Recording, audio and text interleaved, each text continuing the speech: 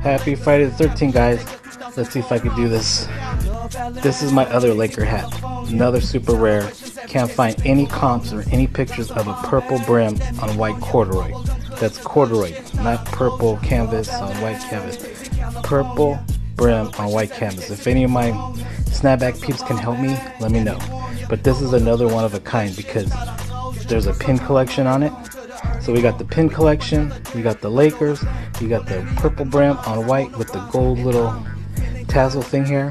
One of a kind. I already got an offer for 500 bucks on it. The pins alone, there's like 14, 15 pins alone are worth between 20 and 30 dollars each. So that's money right there.